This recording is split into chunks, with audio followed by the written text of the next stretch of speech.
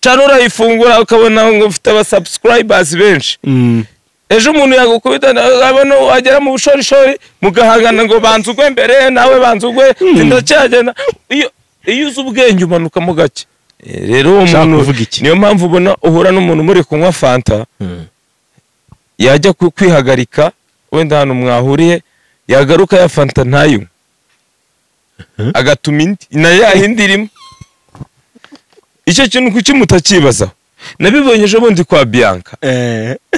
muri fashion. Eh. iyo ngiye kuri toilette. Ijyana muri tuwarete ntabwo nyinjiranamo. Mm. hari ukuntu itereka ahantu. Mbere yo ugashyiraho kwinjiramo agasinyare. Ku buryo buretse se, nugaruka ukayireba umenye ko ari umuntu wayikozeho. Ndetse agasinyira ko utagasizaho wari wicaye na mbere. Tuvuge nimba mfashe nimba mfashe oh, reka mbikwereke. Twerekere ku gasenda. Nka dorokasi na emu irene na vestine. Ariko emu irene iyo bakeneye wenda kubakoresha ibintu arababona. Iyo nabo bagiye ku ishuri i Musanze narabibonye arabatwara. Mm, baramubona nawe. Ni ukuvuga ngo barabonana. Rero mu- muri showbiz hakenewe imibonano. Mm. sibyo hoye nta ndakubwiye. Nimba mfite wenda ibintu ngiye kwamamaza by'urusenda nkubone? Eh, eh. nawe nimba ukeneye interview umbone. Aha. Aho ni hamwe. Mm. ba supermana supermanager rero ashobora kuba yaranyuzwe n'imyanzuro yahawe n'abo bantu Mm. cyangwa se imbogamizi bahuye. Ariko sinumva ko Mm. izo mbogamizi za zaba ku bantu uko ari bombi. Uko batinda kugikemura. Niko kibyimba ni nk'inda. Nimba umuntu wamuteye inda ukanga kwemera ko iyo nda ari iyawe. Uko utinda kubyemera. Ira- iragenda ikura. Ariko icyongereza urakizi ku buryo tugiye no gusoza mu cyongereza. Yes we can. Okay uh, can we end this show in english? We- yes are you ready? I'm ready. Okay give them a message yeah? Bye bye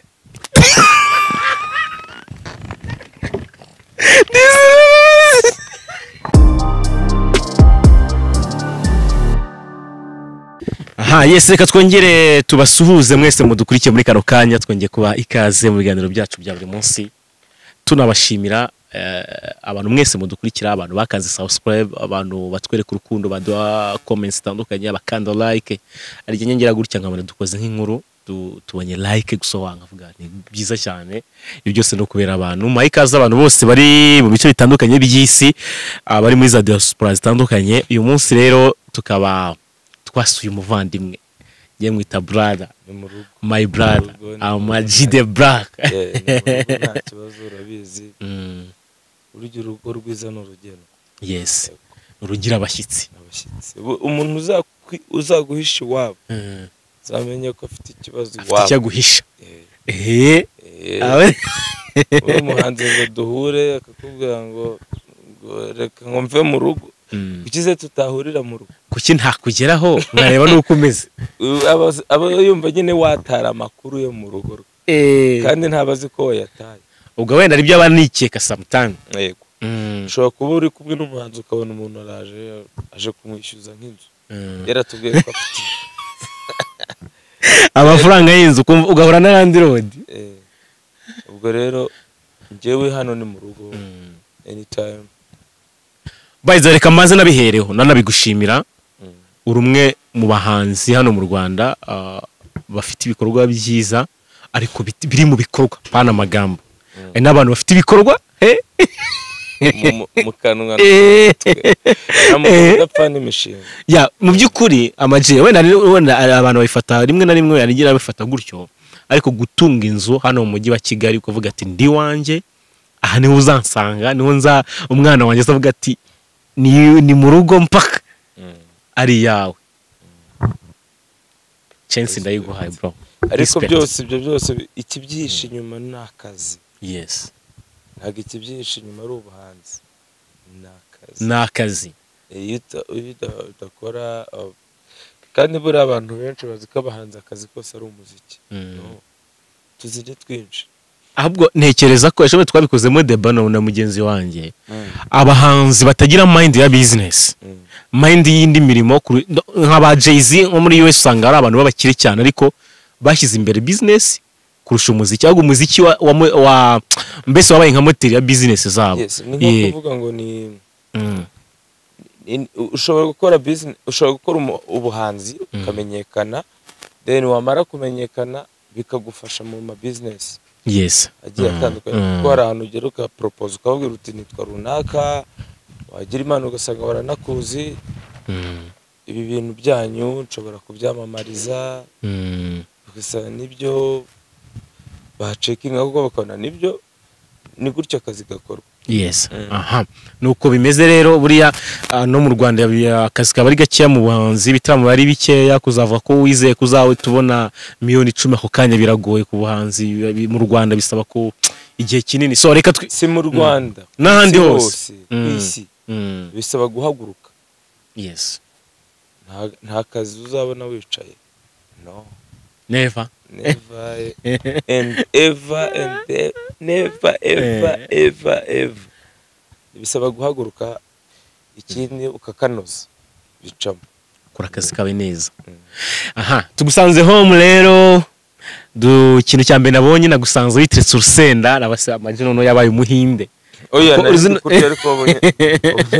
nabonye kurya akavange Eh, urusenda Mm. siripa urugo nyine. Singuru se? Mm. ubwo tugeze mu gihe cyo kwamamaza. Eh. Oya tujye tubyemera ariko. Ase kuki mutinya no kubivuga? Oya ariko ntacyo bitwaye. Urusenda. Eh, rega no mu bintu byanzanye ejo bundi nabonye ikiganiro wakoranye na manibra kuri exirage mbona uri mu rusenda. Ndavuga se amaji koko byahinduye imirishyo. Yageze mu rusenda. Ndavuga ni umusaza ariko amusure kuko buriya n'agasenda ndagakunda wasanze se ntarufite Ura- dore nguru n'abantu barubonye ntabwo waruriyeho se aho rero rumeze neza. Ariko n'urusenda rwo mu rwanda abantu baru- barukurira ingofero. Eh, ni urusenda Mm. Pfunsi yari nabonaga rumereye nabi pfu kera yagamaga namwe mujya muvanga ibintu Eh, nyine buri muntu wese akareba urusenda uwumva rukeneye ariko nawe ararurya wabibonye ariko ni urusenda ruhingwa iwacu mu rwanda kandi turya ibintu byinshi by'amahanga kandi amahanga ntabwo arya ibyacu. Arya bike na bike. Mm. wenda nka kuri iyo bavuze ngo eh, ikawa. Ikawa n'urusenda ariko da? Eh, n'urusenda. egisipotinga cyane. Ariko bigomba gufata intera nini cyane. Noneho tukanabyamamaza. So rero impamvu wansanganye uru rusenda ntabwo narya urundi rusenda. Mfite urusenda namamariza kameme Mm. mfite hariya umufuka w'urusenda nzarya. Ruri no muri firigo y'agaseke. Mm. nzarya igihe cyose nshakiye mufuka w'urusenda uri mu rugo. Mu rugo. Bazakwica abandi igifu cye no ntabwo ari ukururya buri kanya ntabwo ari buri kanya ariko uko ugiye kurya wenda igihe ukeneye urusenda akaba ari rwo wakwifashisha. Mm. yes. None se amaji iby'urusenda byaje bite? Ubu ngubu ibi by'urusenda ahubwo bihagaze bite? Urusenda ruba hehe ruva he rukorwa gute? Wowe uhuriye he narwo ese ufite nk'imirima imirima nawe uri guhinga urusenda ubundi gahunda zabyo zimeze gute? Oya ni ukwamamariza aba- aba bafatanyabikorwa urusenda nk'umuntu nyine wamenyekanye ari byo nakubwiraga by'ubuhanzi nta mafaranga nashoye mu rusenda ni ukubwira abantu wenda badukunda cyangwa se abashoramari bakamenya ko hari ahantu hari imari ishobora kuba abantu ba- bahinga urusenda ba- ba- barujyana hanze. Ikindi ntabwo ushobora kubura toni ebyiri mu cyumweru. Uramutse ukeneye barazi- nagiye kuri tere abazi tubone byiza urusenda buri cyumweru? Toni ebyiri. Ko hava urusenda rwinshi? Ruhingirwa he? Ruhingirwa gatsibo. Ngira ngo a- ababonye ikiganiro nk'uko nawe wakibonye twaberetse imirima twaberetse ibiki ni ibi- ni ibintu bifite fagiti hari abantu batwumva nk'abahanzi bakavuga ati eh, eh, wabona abahungu ari babandi bari ku ku- nko gutwika ngo bamenyekane. Ahubwo uhora ugiye kubinkomoreza. Nabonye ejo bundi eh, hari umugabo rwose wamamaza ibiryo bakamuha miliyari ahubwo isengera amatsiko. Ntabwo ari mu biryo. Ubu si nka miliyari cyangwa nka miliyoni magana atanu eh? Oya. ubundi se gutangaza umushahara bi- bivuze iki umushahara wanjye ni njye uwuzi bivuze ngo rero nemerewe no kutavuga umushahara wanjye ni uwanjye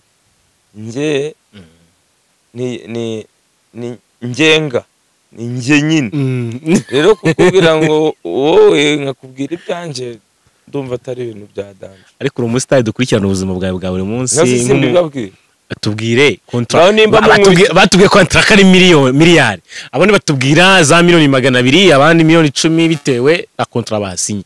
Amaji urusenda harimo miliyoni nimba zingahe munkurikirana Mm. babwire abakurikiye ayiresi tivi ahubwo ubwo mukurikirana nabi. Eh, mbabwire iki se? Babwire nyine amafaranga nabonye. Naje kubabariza. Kandi nkubwiye ko ari njye. Ibyanjye wakurikiranye ibidakurikirana. Byihorere. Mbivemo. Eh, kuko nunabikurikirana cyangwa se utinye ko nuvuga kontra hari abaza kuvuga ati ni za kontra nawe aratubeshye. None se ubundi wicecetse? Bitwaye iki? Wowe ukababwira urusenda. Ngubu. Ubundi biri ngombwa ko umuntu uzarya uru rusenda azamenya kontara wasinye. Eh, rega ni n'ishema ku bafana uzi iyo twumvise shanga umuntu yasinye miliyari? Ukuntu bidutera ishema. Abafana banjye amaji nasinye kontara ya miliyoni yo kwamamariza urusenda. Kontra miliyoni zingahe? Ngo bibafashe ikizi ahubwo iyo indirimbo nzakoramo indirimbo zingahe? Iyo umbaza utyo. Nzakoramo album yitwa ibishingwe yenda no kurangira. Eh, album album yitwa ibishingwe buri gukorwaho fresh. Eh, yenda kurangira. Nshimira Riderman ibisumizi mwaragarutse mumeze neza. Nshimira aba producers noneho hajemo n'umuproducer w'igitsina gore none.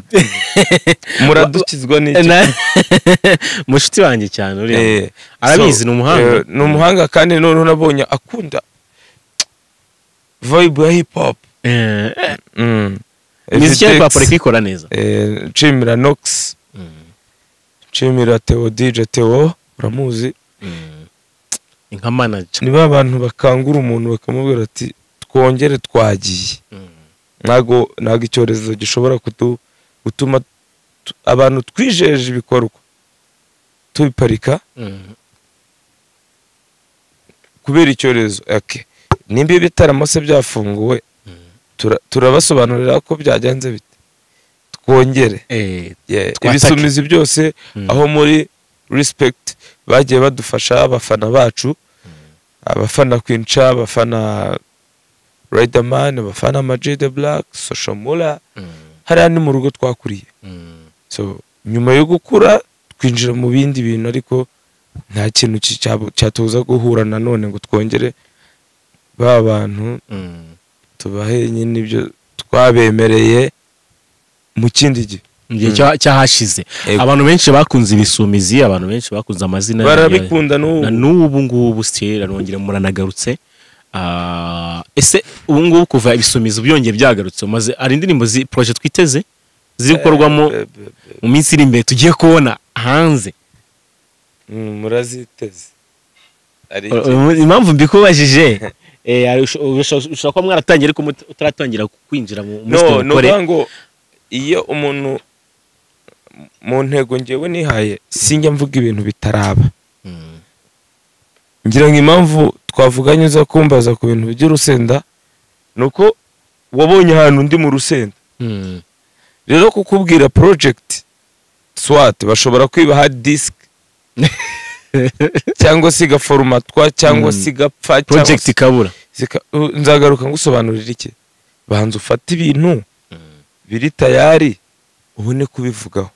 Donc wowe uvuga project yamaze kujya ahabona ni nka kwa kundi um, kiriya kiganiro uh, wabonye ndi kumwe na manibu kuri x large nawe ndamushimira ni umuntu umunyabwenge kandi nkunda cyane.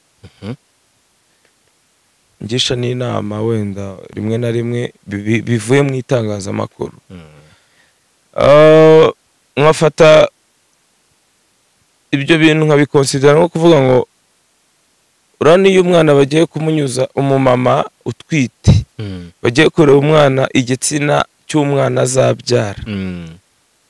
muri ekogarafi ekogarafi Mhm. iyo uje kubeshya ko uzabyara umuhungu ukabyara umukobwa Mm. wasobanura iki ni ukuvuga ngo nk'ikiganiro wambonanye na manibo ni ekogarafi ugarutse kureba wa mwana wavutse nguyu. Nguyu. Ibaze iyo uza ugasanga nta mwana nakubwiye ko nzayo wangasanga nta rusenda ruhari kandi urwamamaza. Kandi navuze ko nk'undi burutahane Mm. so rero nkunda kuvuga ibintu biri perfect kurusha kubeshya beshya cyangwa gukeka ko ibintu bizaba eh, Mm. ariko indirimbo na- na- nakumvishijeho nka kimwe cya kabiri cyazo nabikumvishije yes ndi bubivuga Ubu- gusa numvise imizigo iri hano hanze igiye gusohoka mu minsi iri imbere. Mm. iki kintu nabwira abantu muri kano kanya Mm. bitega amaji wa wundi OG amaji wa wundi from the day one mwakunze. Mm. izi bwa butumwa abantu kenshi banagukunde n'ukuntu uri umuhanzi wicara akandika. Ukandika ibintu wumva bifite Mm. eh, bifite na message bitanga muri societe. Na- na cyo njya nkunda gushima abantu burya bakiriho. Nacyo ndakigushimira bro. Urakoze cyane musaza. Mm. iris tv ngira ngo namwe muri kubona ko muri gukora nanjye reka ngushime wa mugani ukiriho. Uh, Eh. biragaragara akazi ka iyo ukoze. Mm. buriya umuntu wakoze youtube channel youtube channels mubona eh, yakoze umuti. Ni ukuvuga ngo ntushobora kumbeshya. Ni Mm. ibintu nanjye nakwirebera Mm. nkavuga nti ibi bintu by'uyu muntu bi- bi- bi- bigeze biraza. Niyo byaba bizamuka niyo bimanutse nabwo ndabibona nta kintu cyo kubihindura aho ufite. Eh, ni ukuvuga ngo ni nk'umunzani yakoze. Uraza ugahagararaho eh, tukareba ibiro byawe. Mm. yes. Balance ibigaragara. Rero iris tv ikigaragara muri gupeza ibiro byinshi. Oh thank you bro. Ariko iminja ziri kuvuga reka mbyite guto. Nazo natwe zizabyibuha zize zihagarareho n'abasaza n'ababyibushye bakananuka tubabone. Eh, Eh, ariyo njya mbona muri ino industry ariko sino uh, wenda mbibona cyane mu buhanzi. Ariko mba murabiza no muri za YouTube channel kuko zo abantu banazimenye vuba. So aba ugasanga umuhanzi w'icyamamare amajo muri bibiri na cumi wari ukaze cya pifura cya nande ariko uyu munsi twaba dufite ba bushari ba bitwe bamaze nabo kuzamura izina ubu muri gupezanya hano hanze. So hari isomo bitanga byanga bikunze. Yes uyu muziki Uyu- muziki. Hari uwo wabihuriza nawe na kano kazi dukora. Zino shene hari Yes. shene ubona zi hmm?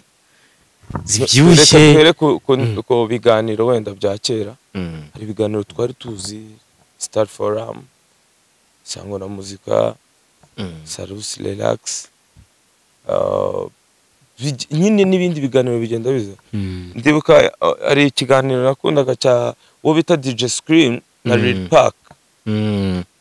kuri fra ni kuri flash Yeah, of course ni kuri flash kera Mm. ariko ntabwo cyakuyeho icyo bita ruhura umutima cyo kuri kiss fm Mm. ni ukuvuga ngo industry yacu igenda ikura ubu dufite za Ntabwo- the choice dufite iki? Ntago amaji yagombaga kuba amaji wenyine. Hari na bushari hazaza n'abandi bandi dukomeze dukore. Mm. ikibi ni uko wumva ko umuntu aguhagurukije ku ntebe sibyo ko ataba yiguhagurukijeho aba aguhaye indi wicaraho. Mm. ndakubaza. Kugira ngo muvuge ngo new generation mubishingira kuki? Tubishingira kuri ya maraso mashya barimo yinjira mu- muri industry. So, Eh. rero muzanakore old generation. Ahubwo amaji. Mm. nzi ko ndi bubikubaza n'ubundi mu bintu byanzanye. Ni ukuvuga ngo new generation niba niba abantu bazanye impinduramatwara mu bantu eh, ariko hari ababizamo nabi. Mm. bakaza barwanya abo basanzemo.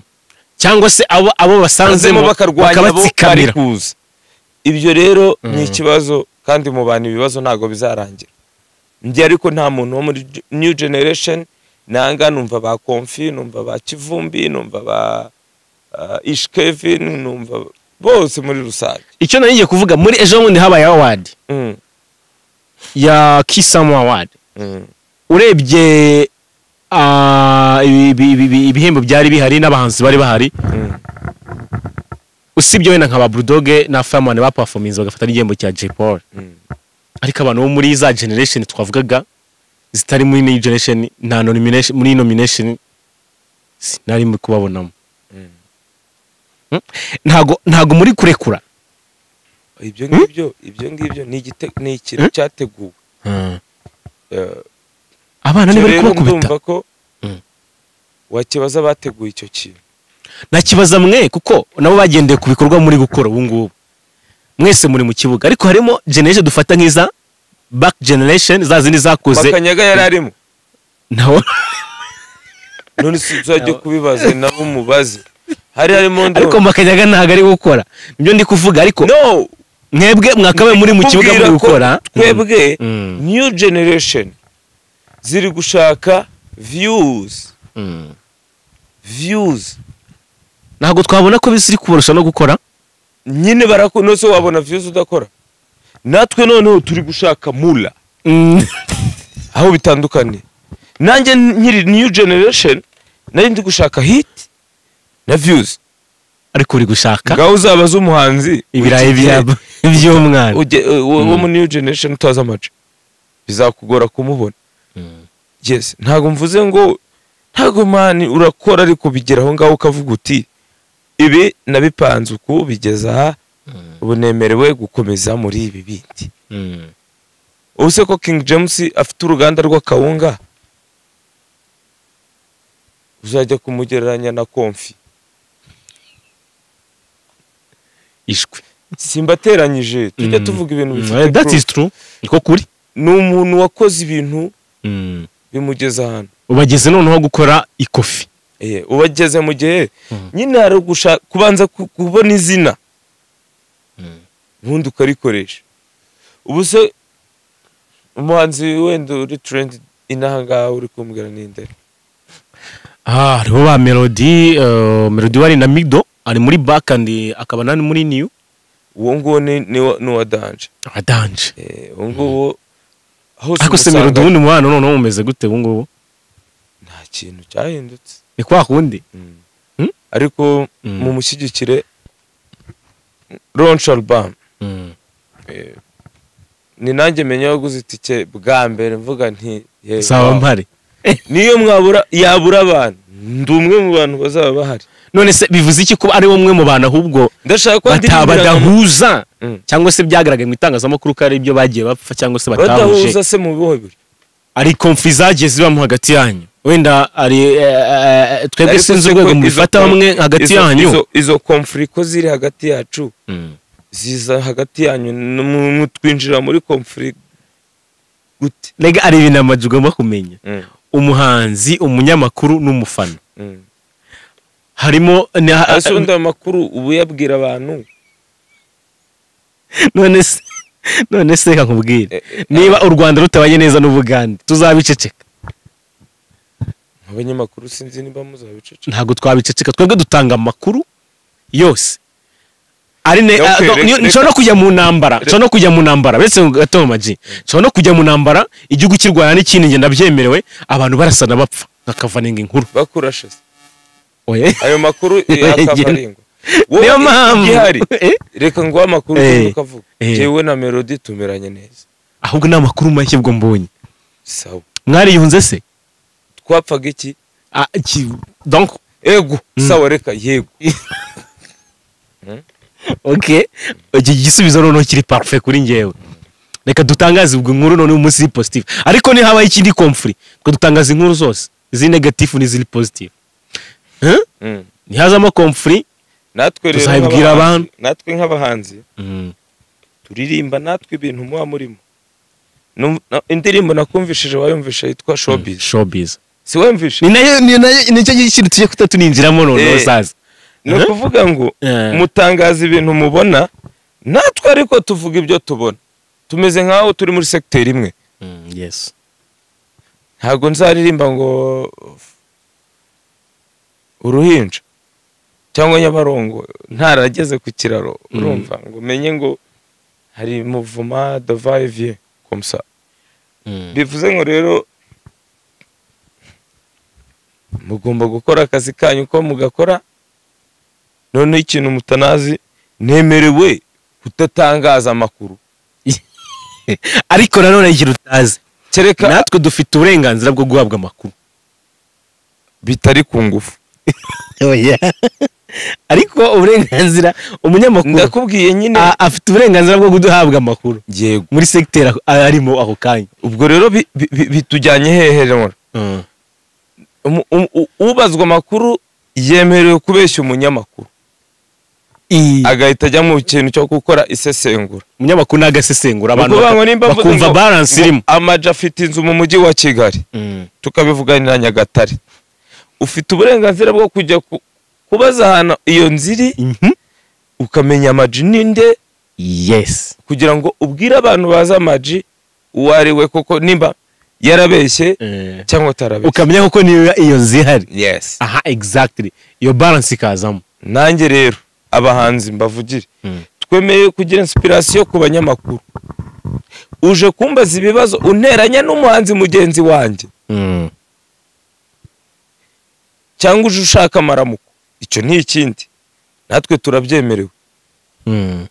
kuririmba indirimbo nshatse naririmba indirimbo yitwa Iris TV wambuza se oya Eh, ubwo rero urumva ko tuba turi kumwe. Eh, tuba turi kumwe gatanu kuri gatanu. Mm. amaji sinzi wenda turabika telefone sinzi niba ntakugoye. Mm. watwumvishe gatoya wadukopeje gatoya ku ndirimbo Eh, yitwa showbiz. Kuko ndashaka ko tuvuga kuri showbiz. Cyangwa nkumvisha indi Eh, eh, nta kibazo. Indi wumva na yo wumva iri hafi wadusangiza abantu ndikora izanjye hari umuntu wa- wankanga ngo ni indirimbo zanjye. Ushatse wanayisohora ugaca naho ushaka. Ese cano yayo? Muntu amenye ko showbiz twese tuyirimo kandi turi gukora iki? Turi gukora twese. Yes. Nta muntu wemerewe kwicara. Kereka uri gukora ibintu bibi. Showbiz. Twese dukore. Wenda wenda batagira ngo ni bya bindi. Njye nkunda proof. Mm. ntirasohoka pe. Iri kuri album ngiye gusohora. Mm. basi bumve ko ibintu twavugaga tutari gutwika Mm. showbiz. Yitwa showbiz. Bivuge Bivuge. inama. Ndashaka gusura yitangire indirimbo, mbivuge cyangwa se mbivuge mungire inama ndashaka gusohora iyi ndirimbo Kambivuge. kandi mungire inama reponde pari fure ufo. Yeah. yego cyangwa ho I'm a G the black as represent. Yes. Ça fait longtemps. hashize igihe kirekire Showbiz. showbiz Ibisumizi. ibisumbi wow come kurikira ukuri bashinga amavi babaye nk'amahene muri showbiz Showbiz. birirwa batubeshya ngo ni ugutwika muri showbiz ikinyoma cyambaye ni gute mucyambika ubusa muri showbiz murahura mugaseka kandi mufite ishaza. Rekera rekera rekera. Amaji. Ndakubaza nk'amagambo abiri. kuri iyo ndirimbo. Nirasohoka ninasohoka tuzavuga byinshi bitewe n'ibyinshi tuzaba twumvisemo ariko aka kanya. Eh. ariko indirimbo mu bisumizi rwose ni tayari ako gato rero. Ariko ndashaka kuzisorera nyinshi icyarimwe. Mm, so icya mbere. Mm, mwirwa mutubeshya ngo ni ugutwika. Iki kintu ni ikintu kiremereye kuko nawe kugira ngo ukiririmbe mu Njyewe umuntu ndirimbo. wese Mm. eh, nishyize muri risike Mm. umuntu wese uzambwira ko namubeshyeye muri iyi showbiz Mm. nemerewe no kujya ahantu aba ndi kumwe n'umunyamakuru nshaka naramuka mvuze ko ibintu nabeshye Mm. tuvuge nimba uvuze ngo amaji aba mu rutsiro nkavuga nti njyawe simba mu rutsiro byanze bikunze hari abaturage muturanye. Kugira ngo nyine ni defande abantu batambona imboga mu menyo ibintu navuze ko ari byo babibone Mm. nimba mvuze ngo turi mu rutsiro mu isibo iyi n'iyi mu murenge uyu n'uyu aha hantu ni ho amajaba Mm. umuturage akakubwira ngo ni hariya sawa muri showbiz abantu bose batubeshye nzabivuga Mm. uhakanye ibyo bintu nzamugeraho. Ni bande rero aka kanya. Oya ntabwo ndi buyikubwireho cyane. Aka kanya turavuga bakeya Mm. kuko indirimbo ntabwo uri buyimbwireho cyane ndabyumva duhura duseka ariko ntabwo dukundana Mm. bya nyabyo muri rusange. Mm. nta n'itegeko ririho ryo gukundana. Bishatse kuvuga iki rero udusa nkabe- nyine muri showbiz turi- eh. turi ndyarya turi gushakaho amaramuka abantu. Nyine mu buzima busanzwe turi kuyabashakaho. Ariko natwe hari abayadushakaho. Showbiz rero nar- naravuze ni nk'indirimbo izaba ari definisiyo ya showbiz. Mm. Kuwu- kuwemera ibyo mvuga. Hari kubasha hari abo muri bari kubashakaho amaramuko. Yego. Ariko namwe hari abo muri kuyashakaho. Hari n'abayadushakiye ahubwo. Yes. Yego. Muri showbiz. Showbiz. Okay. Ni ukuvuga ngo nimba iris tv naraje Mm. Mfite igihangano ngiye guporomotinga kugira ngo abaturage bamenye Mm. nkakugigira cyangwa nkagushakisha nkakiguha ukankorera ibyo bintu. Mm. bivuze ko unshakiye amaramuko yego.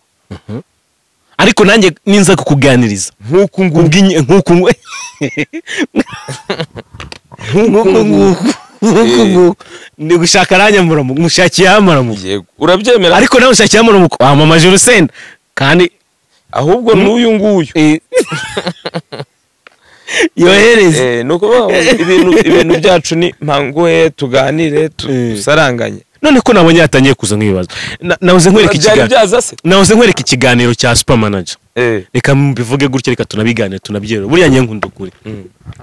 super manager ah, ikiganiro yakoranye na mugenzi iyo wanjye ngiye kuvuga kuri supermanager Unywa ngo- akantu. ngomba gutekereza. Hari abantu njya kuvugaho nka nkabanza Nanyu- nka. eh, kubanza kunywa amazi nabonye iteretse aho Mm. ukunda n'amazi kubera nawe wagira ngo urinuza ndi ndi umutubu. Cyangwa ndi igikeri. Dukomeze cyangwa ifi dukomeze Eh, dukomeze rero. Mm. noneho eh, nta mpamvu nakubwiye ngo penge niyo ndirimbo yitwa showbiz ndaza kubihuza byose. Ni muri showbiz turi. Ni umuhanzi super manager. Yicaye mu kiganiro mugenzi wanjye mwita Blaise ah, bakora ikiganiro amecoringa abantu. Abantu ati mbese yabatunze agatoki? Kuko iki- iyi ishu ishu uh, wenda i- i- si ubwa mbere ina- inagaragaye n'ikiganiro twize gukora ubushize tu- tubivuga atari abantu gutya na gutya bigenda gutya na gutya hazamo amakimbirane hazamo kwikunda hazamo amashyari hazamo ibiki.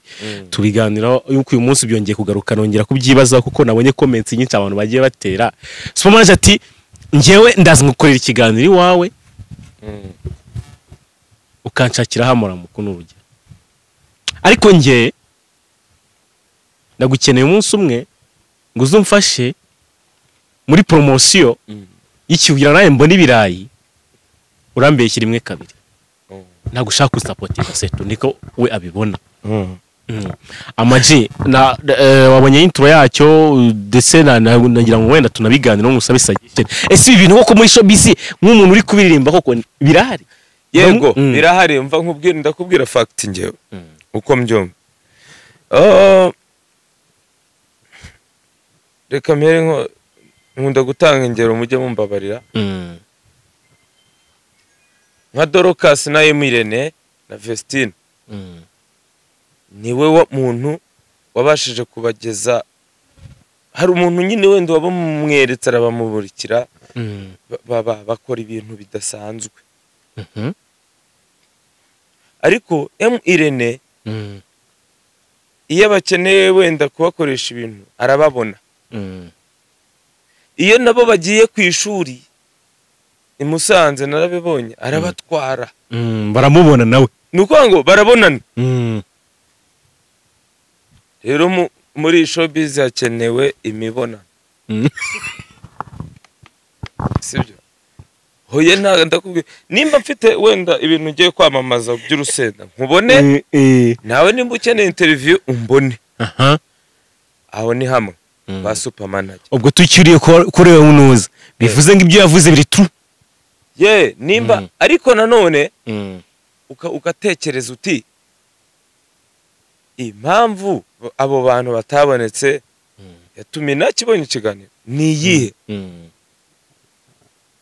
Supermanager rero ashobora kuba yaranyuzwe n'imyanzuro yahawe n'abo bantu Mm. cyangwa se imbogamizi bahuye ariko sinumva ko Mm.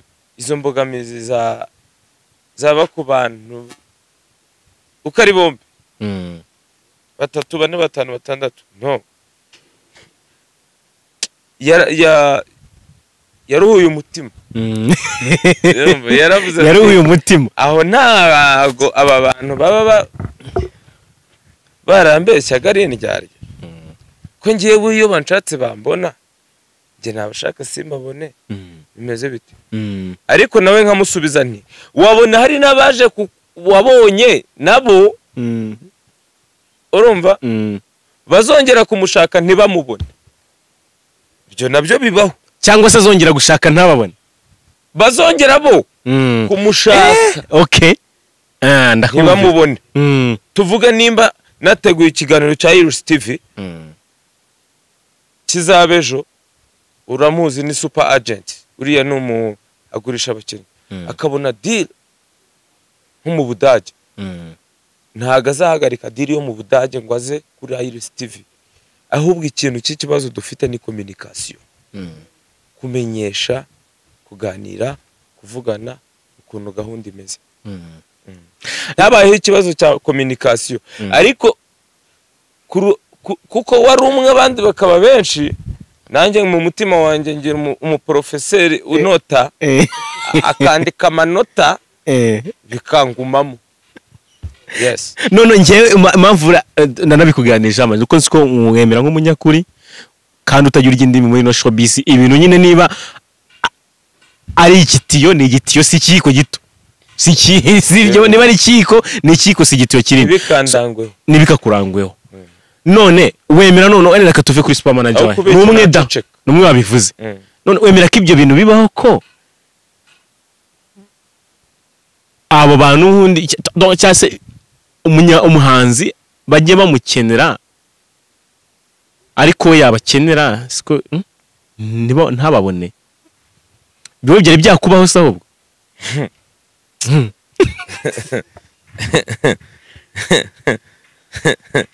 Reka nigane nk'udu kari agatwenge bibaho cyane bibaho cyane ariko bishobora kuba bigiye kugera ku musozo. Hmm. wo gute? kutazongera kubaho. Ni ukuvuga ngo ibintu byahinduye isura wa mugani wa Theo bose babireba. Hmm. Eh, abantu nakeneye simbabone ubwo ntabwo bari bahari. Abo nabonye bari abo. Sibyo? Hmm. abankeneye ntibambone ubwo sinari impari ariko si ibyo bintu ni ibintu bisanzwe si no mu muziki gusa si muri showbiz gusa. N'abageni hari igihe batumira umugeni ntumubone kandi yara- yarakoye yarakoze ibisabwa byose ku munsi wa nyuma w'ubukwe ntumubone. Mm. rero ntabwo bigomba guhengamira mu muziki. Wenda nuko ari twebwe ndorerwamo za rubanda ariko ahubwo se ikibazo twakibajije. Nyuma y'ibyo bintu byose byabaye aho kurakarira mugenzi wawe. Abantu baricaye ba- bakemura ikibazo. Icyo ni cyo nagakwiye kwibaza. Abo yavuze yakeneye ntabone. Nawe eh, baramubonye igihe baricaye bakemura ikibazo. Uko batinda kugikemura niko kibyimba ni nk'inda nimba umuntu wamuteye inda ukanga kwemera ko iyo nda ari iyawe. Uko utinda kubyemera. Iragenda ikura noneho nikura izavuka bapime dna tumenye nyiri umwana ni Eh. Eh, ni ukubifatirana rero Eh. yes hakiri kare Mhm. Eh, hanyuma amaji noneho reka kuko showbiz rero ibamo ibibazo byinshi ibamo ibibazo byinshi Mm, ibibazo by'abanyamakuru noneho reka tu aka kanya ndi umunyamakuru mm, uje umbwiye agahinda kawe mm. K'ibyo wahuye na byo wenda biri Yego. kuko ni wa marangamutima wawe urimo utanga Mm. ukabivugira iwanjye. Naba ikibazo kuba wavuze? Urumva niba nje eh, nje kuri RBA nkavuga ni isibo TV Banye- byagenze gutya. RBA izaba ikibazo. Amakuru ikibi ni uko wagenda ukayivugira nyir'ubwite. Atayavuze. Mm. nimba utaye amakuru wayataye nyir'ukuyavuga arahari. Mhm. Ahubwo ni ugushakisha uburyo se ibyo bintu koko ni byo? Kameme ni ukuvuga ngo amakuru mwaduhaye nanjye narakose. Mm. naravuze ni aya makuru uyu muntu n'uyu niyo mpamvu nakubishije muri Mm. mu- ngoma yanjye yitwa showbiz. Mm. tubaho tugahura tugaseka ariko dufite ishaza. Ishaza nzabisobanura ningera igihe cyo gusohora ibishingwe. Mm. Eh, ni cyo nari ngenda kuko cya kabiri nashaka kubaza ubwo uhise ubinaye unabikomozaho icya mbere nakikubajije kuhita ubangura. Icya kabiri ati murahura mugaseka ariko ishaza ririmo. Eh, rero uwo muntu niyo mpamvu ubona uhura n'umuntu muri kunywa fanta yajya ku- kwihagarika wenda ahantu mwahuriye yagaruka ya fanta ntayo agatuma indi na ya yindi irimo. Icyo kintu kuki mutakibazaho nabibonye ejo bundi kwa bianca. Muri fashion. Urajya kwihagarika ntujyana icyo kunywa muri tuwarete Mm. wagaruka ugatuma indi. Ubwo ushatse kwerekana iki? Ishaza. Harimo ishaza. nubwo mwicaranye ntiyizeye abantu bari kumwe. Njye noneho ukuntu ndenze mu buryo bwa konsomasiyo fanta yanjye ndayijyana iyo ngiye kuri tuwarete ujyana muri tuwarete ntabwo nyinjiranamo. Mm. hari ukuntu uyitereka ahantu mbere yo ugashyiraho kwinjiramo agasinyare. Ku buryo buretse se nugaruka ukayireba umenye ko hari umuntu wayikozeho ndetse agasinyira ko utagasize aho wari wicaye na mbere. Tuvuge nimba mfashe nimba mfashe eh, reka mbikwereke. Eh, twerekere ku gasenda. Eh, ikirahure? Eh, nimba nje nka- nka- nkasiga iki kirahure kimeze gutya? Eh. nkagenda nkakora ibyo nkora. Ngasanga urusenda ntaruriho swati cyangwa se rwimutse rurahengamo do rugwemo tuba turangizanyije mpita ntumiza ibindi bintu. Uhita utumiza indi fanta. None se urusenda rugira ukuntu rwihindukiza? So rero ni gutyo bimeze wamenye ubwenge. N'abandi babumenye. Simbabwiye umuvuno Eh. abandi babumenye bamenye ngo turi kumwe n'abantu ariko kandi turi guseka. Mm. umubana mubazi ushaka kuvuga ati ubu cyaje dukiri kwishima. Nawe urimo. Ntabwo- ariko nuko twaje gukorana ikiganiro. Tuburagiye ki? Eh? kiri kunkuramo akazi. Oya ntabwo uri kukankoramo. Ibyo nanjye ariko ndi kukagukoramo. So rero ikintu nabonye inyamaswa idakenga yishwe n'umututezi. Eh, ni uko nguko neza neza. Neza. none se ntabwo twaba dufitanye ikibazo. Mm. wenda uri umuntu unshingiye umutekano ngo ngende inyuma nta- ntagenda nkebaguzwa nimba mfite umubawunsa ndimo amadeni y'imyaka itanu. Mm. Ugomba kugenda wumva nyine. Hari igihe byahinduka akaba yakuniga. So, Muge- mukandaza kubaza imo- ejo bundi nabonye biramanta avuga ati awadi bari kwima wazanye ibicupa bya gazi n'ibisurubeti bakamaroramo uraza kumbwira ko wakiriye biriya bihembo niyo mpamvu rwose uvuga ati njye wari ubikwiye ntibyagenda neza. Ariko iyi ngingo reka tubanze tuyisoze nari nkubashijeho ibibazo biri muri showbiz kuko ibibazo biri muri showbiz by'abanyamakuru n'abahanzi ishyamba. nitutabivuga ntabwo bizakemuka. Byabanje kwitwa ishyamba. Eh. Aba- ababishyigikiye ruswa bayikura mu izina ryayo bayita giti. Ntabyo uzi ndabizi cyane. Ka giti ishyamba mu muziki bishatse kuvuga. Iki? ndakazi. ese ishyamba si ibiti? Nose mu muziki ninde waririmbye ibiti? ariko hari uwaririmbye ishyamba.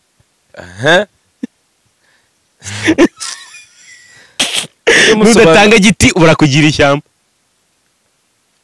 Barakugira mu ndirimbo se ariko hari ikintu hari ikintu nanone uhita unsubiza aho ngaho Mm. Hari- ikintu abanyamakuru bajya bagira bakavuga ati tuzakuzimya. Ntabwo bishoboka. Hakaba hari n'abahanzi basigaye batinya abanyamakuru. Ukamwitwararikaho kugira ngo ejo atazakuzimya. Kubera iki? Ubushobozi afite. Ntabwo wanze ibyo ubishobore. Mani haje ikintu cyitwa platforms Mm. zo ku rwego rwo hejuru. Uranga kuncuranga kuri radiyo yawe ndajya ku rusenda. Nawe se uranzimirizayo? Urusenda se ruzakwamamaza. Kandi uzarwamamaza. Ninjye uzarwamamaza. Nzarwamamariza he kuri social media zanjye. Eh.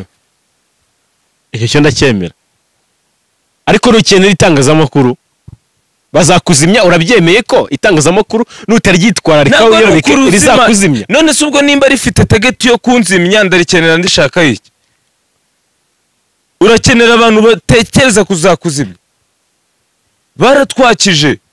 Ariko nabo umenye ko twabakije. Ubwo ibyo nagira ngo mbyanzure kuri ino komenti yavugaga ku kiganiro cya supermarket ivuga ati aba bantu bazakuzimya kuko nibo bakuzamuye.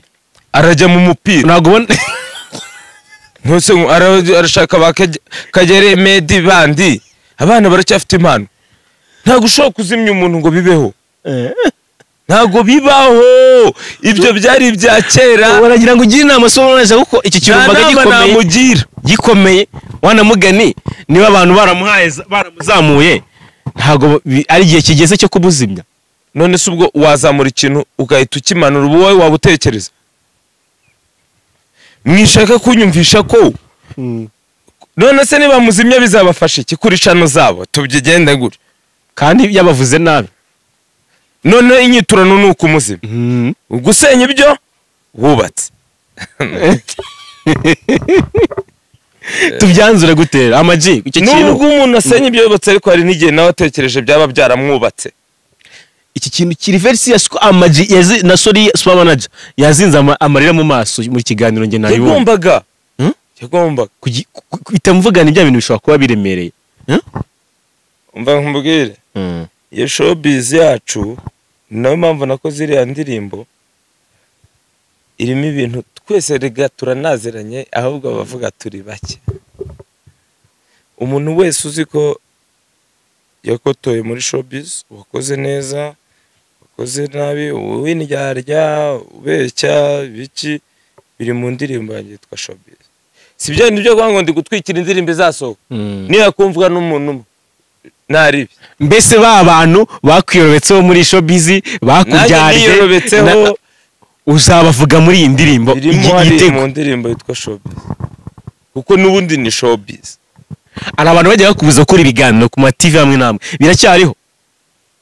ahubwo nsigaye mbibima ba bandi bakubuza gukora ibiganiro aho usigaye ubibima twatangaga giti hmm. giti ni ukuvuga ngo agafanta. Agafanta ni agake turi mu kazi. Ngo kugira ngo ngo ngo ngo ngo ngo ukorere iyi nkuru ngo ngurira agafanta. Eh. kubera ko utagiti mani twarangije kugera ku bushorishori hahandi kumanuka nta kintu bikitubwiye. Hmm. Kumanuka urabizi kumanuka pu ugahita upfa.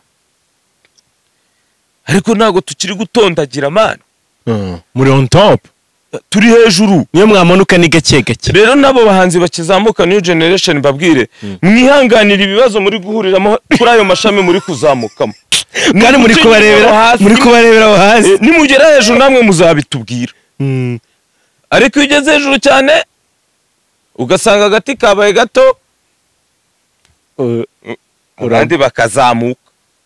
Nuko bintu bimeze ni sisiteme imeze gutyo. Mm. Eh, kabisa. Ariko njyewe karanyeganyega nkafata hirya nkafata hino. Eh, mbese ufite imigozi ndi muri sisiteme noneho yo kuba nagenda amanuka gake gake wenda nkagera ahantu igiti gikomeye. Eh. urumva? Wahurirayo n'umuntu nawe uri kuzamuka ati zamuka nanjye ndashaka. Nuko bimeze ndabibabwiye ku izina ry'imana ishobora byose. Eh. nuko nguko cana urayifungura ukabona ngo ufite abasubscribers benshi. Mm. ejo umuntu yagukubita abona wagera mu bushorishori mugahangana ngo banza ugwe mbere nawe banza ugwe ndacyagenda. Iyo iyo uzi ubwenge umanukamo gake. Ugategereza umuyaga. Eh. wamuha akagwa nawe ugahita uvuga ati ngaho wongere wurire unsange hano. Nuko bimeze.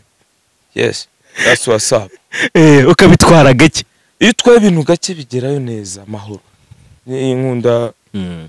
hari yo- y'abapolisi b'u rwanda bavuze ngo gerayo amahoro Mm. campaign nimba ugiye wasinze nimba ugiye wihuta urahura na konterivasiyo Mm. hari abantu mu- muri showbiz bari kugenda bahura n'amakonterivasiyo kamera noneho iragufotora mu bi- mu bintu urimo. Ye muri showbiz. So rero ni cyo nakubwira. Ntago ntago bizanarekeraho. Hari n'uri hasi ushaka kuzamuka afata ishami akaboko ke nikaba karekare. Mm. agafata. Nawe azatondagira. Ariko bose barashaka kugera on top. noneho abantu bari hariya on top. Mm. baba bameze uraza hano gukora iki? Eh, batsindagira bamanura tuzi ukuntu twazamutse ahangaha Eh. ye. Tuzi isukari byadutwaye. Noneho iyo uguye noneho hasi. Ukazamuka noneho uzi ko iyo ugeze hariya uzamukana umva n'ibi- n'ibinonko. Umeze nk'uhariye urusenda Yeah. wisize urusenda. Rero bamenye ko turi gukora ariko twese ba- tugomba ku- kubaho. Aba abahanzi aba aba footballer habe bose muri rusange. Yes. Ni ukuvuga ngo icyo bita competition egari nk'intambara. Mm. Eh, good. Reka rero dusoreze kuri eh, ku- ku- kuri event yabaye ya ngira ngo ni kwa Bianca Mm. werekanaga fashion wowe umuntu uri everyday. Creative- rwose. Creativity ni ibintu byawe weguye ibi ibi- ntabwo nabyeguye man Mm. nari mvuye ku kazi. Eh ariko wa wavuye ku kazi wabyeguye. Ufite n'itaburiya nese wakora akazi utambaye ntabwo bishoboka ya. Njye nanyuze aha boro. Mm. ndavuga nti ariko abo bantu bateguye ibintu byo kwambara neza ni bande? Ngo ni ba bianca n'iki ndeba kuzi kanombe nsubire unomo amasaha nawe urabizi. Mm. ariko ubundi washaka igisubizo hano aho wiviye mu kazi. Ariko nza gushiduka nambaye neza. Mm. niko kunyura hari. Noneho ibindi byaje babikirititseho kera none se amaje Mm. kucyumvaga ko ari wowe uri butware uko bari irawa. amafaranga. Noneho nkibaza abambaye aho ngaho bo babishyuye ahubwo bo bishyuye Mm. noneho njye banyishyuye. Ni njye wari wambaye neza ndabikubwira nk'uko nabyumvaga. Ubishingira ku ki? Amafaranga Uburyo- ayoboye ufite isi. amafaranga uremerewe ko ayoboye isi. Cyane. Ibi byose turimo guhera aha guhera aha imyenda twambaye tubigura iki? Ni ibiceri. None abandi Mm. bakodesheje imyenda yo kwambara hariya ba- batanze iki? Amafaranga. None iyo myenda na yo nambaye yanjye yampeshaga iki? Amafaranga. None se ubwo urambwira gute ko ntari nambaye neza? Mbese ni wowe uri giti cyanjye ariko mu Mm. mu yanjye. Mm. mu gitondo babyutse bajya gusubiza imyenda aho bayikuye bajyana no mu ma dry cleaner Mm. gisarubeti yanjye nabyutse mbabwira ntabwo mu muyizane njye mu kandi kazi Eh. urumva kwambara neza nyine buri wese afite definisiyo ye mu mutwe ariko ntabwo bikwiye ko nanjye iyanjye yo mu mutwe wanjye ivaho none se uriya muntu waje hari undi muntu waje yambaye te hari umuntu waje yambaye ipantaro y'igice kaguru kamwe n'inkweto zidaze nawe ni kaguru kamwe nawe niko yabyumvaga simuveho ahubwo nza- ndashaka umva Iris Steve reka mbasabe kandi yakompereza mbwa ko Reka- yarakwiye. Eh. wazateguye igitaramo cy'abantu. Ntabwo ari igitaramo. Mm. Eh, show. Mm. y'abantu bambaye nabi. Mbabarira oya ni byo. Wowe uzategure y'abantu bambaye nabi. Urebe ukuntu nza nambaye. Ndabikubwiye nubona ubushobozi uzabikore. Urebe abantu bambaye nabi umunsi. N'abaterankunga bafatanye eh, nawe nawe urimo. Eh, tugitegure noneho. Kandi nzanye proposal. Urayimaye tuyifatanye. Idea si uyifite irayidi urayimaye tuyifatanye. Uzaza n'abantu bambaye nabi nkwereka ukuntu umuntu wambaye nabi aba yambaye. Utumire n'abantu nyine umuntu uti nyizeza "Shaka ko? nyizeza ko. Tugifatikanye. imbere y'abantu. Tugifatikanye Ni vuba, ni Ama G vuba. The Black na Iris TV tugiye gutegura igi- igitaramo. Cyangwa se ibirori by'umuntu wambaye nabi. Kandi azigaragariza ahantu heza. Nimba ufite hoteli ufite ahantu heza. Mm, sare bazaziduha ndabizi. Mm. ariko turashaka kureba umuntu wambaye nabi aba yambaye ate Bi- twabonye kenshi abantu bambaye neza eh, bishingiye Mm, ku biganiro tumaze gukora ubu ngubu. Mhm. noneho turebe abantu bambaye nabi. Sibyo ese amaji kubivuza uhereye kuri kaguru kamwe. Washaka kumvikanisha ko? Oh, ah. yambaye nabi. Wowe ndakubwiye ngo utegure iki okay tugiye gutegura iyi event. Mm. y'abantu twahoze tubona kenshi ama event y'abantu bambara neza. Ariko hari n'abambara nabi. Ubye- niba hari abambara neza bivuze ko hari n'abambara nabi. bazaze. Nabo bazaze, nshaka ko icyo gitaramo Mm. tuzakora cyangwa iyo event. Kwinjira bizaba amafaranga wenda nk'igihumbi cy'amanyarwanda Mm. uzi utwereke ukuntu iyo wambaye nabi uba umeze? Turushanwe kwambara nabi. Ntabwo ari ukurushanwa uwambaye nabi ahora yambaye nabi ntabwo ajya gushaka imideri wahita ku azati ndumva nsa nabi. Urumva? Ntabwo ajya kubipanga. Eh, rero ubwo tugiye- blague, abantu bazayitwishyuza tugiye kuyorganiza. Mm. kandi uno mwaka ugomba kurangira mu- umuntu umva dusapotinga. Eh. wanamugani ko bavuga ngo bambara neza. Reka tube noneho n'abambara nabi. Eh. undi none tuzanabigereranya Eh, tubigereranye turebe. Maze tubone. Ariko se kutazamo umuntu hapfa kutazazamo abantu bambaye ubusa. Hari umuntu ushaka gukora bihabanye n'umuco wacu. akaza yambaye ubusa. Oya. Oya, ngo byo ntabwo twamwemerera. Wowe ngwino wambaye nabi. Mm. rero abantu bazi ko kwambara nabi ari ukwambara ibintu bicikaguritse. Wowe tegura iyo event. Mm. Ushake n'abantu ba- ba- ba- bakora amafashoni baraza kugufasha baguhereza ide. Urebe abantu bambaye nabi ukuntu baba bambaye. Se wowe abantu bambaye nabi uzababona. Mbwira akaguru kamwe bimeze bityo wowe neza ndimbati kuko nawe ikiganiro nyuma. Yakoranye na cita avuga ati njyewe. Ninjye wari wambaye neza ati nta muntu urega wari ati- uhari yazi ko atambaye neza. ati ati ari ati iki ati iyi ni wari ndyo wari kuyitwara. Amaji suggestion yawe utanga kuri ya style ni iya ndimbati. Mm. yes. Eh, kaguru kamwe yakoze umuti. Niyo mpamvu turi no kwiganiraho. Eh. wowe nkubwiye ndimbati nawe nimba unkurikiye. Muri show y'umuntu wambaye nabi nanone komeza utegure. Kuko mu bantu bari bari hariya kuki ari wowe turi kuvugaho. urumva? Oya ni byo. Hari abambaye amababa ntazi n'amazina. Hari abambaye masike hari abaje bikwedura. Byari ibintu abantu basekeje. Mm. yaje afite- marete y'akagaruka icimiwe yambaye prudence. Eh, Eh, uwo yari yambaye neza. prudence hehe ku gutwi. Urumva ko yari yambaye neza? Uwo yari yambaye neza. Uwo nguwo? Eh. Eh. ubwo yashaka kumvikanisha. Ubwirinzi. eh, ubwirinzi. Ariko ni byo n'imibu. Yari yambaye neza. N'imibu na marete noneho tekereza ko noneho njye waje nambaye isarubeti y'akazi. Igura ibyo bintu byose uvuze aho ngaho ruguru. Ariko uzi ko mbitekereje nkumva ari byo. Nagura puridanse nagura iyo mibu ibyo eh, akantu kica imibu nakodesha iyo sare kuko nakoze akazi. Ariko ndashaka abambaye nabi. Noneho bo iyo show. Kandi ndi kubikubwira ugaseka. None se nkubaze Eh. kuba umugabo witwa ndimbati yambaye inkweto zidasa. Yari yambaye nyine neza. Erega iriya myambaro twambaye ikugaragaza uwo uri we. Wiki ikugaragaza uwo uri we. Eh, eh. ni ukuvuga ngo yari yabiteguye. Yari yambaye eh, ibintu bituzuye. Ni ukuvuga ngo ipantaro yari igice.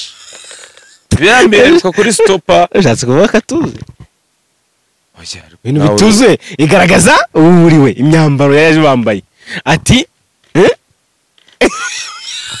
ese byari byuzuye nimba nambaye isarubeti mvuye mu kazi biragaragara ko mvuye ku kazi. Wambaye ibinyugunyugu wayibona akunda ibinyugunyugu wambaye isekuru biragaragara ko akunda imyumbati cyangwa ibiki. Ni ukuvuga ngo hariya ahubwo kiriya kintu ni sawa. Eh, byatumye tumenya abantu abo ari bo. Wambaye kondomu zo gakunda iki umupimye ntabwo yaba arwaye indwara igendanye mu mibonano mpuzabitsina. Ubwo kuko cyangwa yararwaye ariko ari kuvuga ati namwe muramenye. Ni ukuvuga ngo hariya habaye ikintu kiri OG uri kubyumva. Yego. Shaka rero abantu bambaye nabi nkwereke. Tubyanarize bureza aze kumfasha iyi feti tuyoganize oya! Amajezi aba azambara Nanjye nza- nzamahanyura nkwereke kuko mba nambaye nabi. Sibyo? Ese wambaye nawe ubundi wambaye utamaji mba nambaye imyenda idafite ikintu imariye uretse guhisha uruhu cyangwa kwiyubaha. Ah, ah, kwanza wategura show nzakwereka. Hanyuma ama awadi y'ibishize ntiwagaragayemo hari n'izindi ziri gutegurwa hari icyizere ko uzagaragaramo cyangwa arimaji turi gukubura muri indasitiri ya music. Ye Ku- the choice award iraje isango na muzika iri gutegurwa. Naho hari igihe ntagaragaramo nk'uko mbere muri salax nabo izo the choice zitagaragayemo ibintu bigenda bihinduka bro. Ye none se ibintu bigenda bihinduka. Ni nk'uko bibiri na gatanu abagaragayemo uyu munsi batagaragaye muri icyo ushatse kuvuga. Ye none se the choice niyo niyo yatuma ucika intege. Ariko nta na rimwe wanayigaragaramo. Hari n'igihe byaba ari burundu ntazanayigaragaramo ubwo ntibyitwa kudakora. None se bo nimba bakora bakomeje kumenya iby'akazi kabo nanjye nkamenya iby'akanjye ariko urusenda muri docesi muzaruvugeho ndi gukora. Funsenda ndatereka akiri senda pfu yewe reka tugende tugera ku Na- na- musozo. abantu ntabwo wa- wanezeza abantu muri rusange. Kuki se bavuga ngo abahanzi ba- babaye nominated muri kategori n'iyi ni batanu? Ubu koko batanu nibo bonyine. Uzi abahanzi dufite muri kino gihugu cy'u rwanda? Ariko batanu barushije abandi.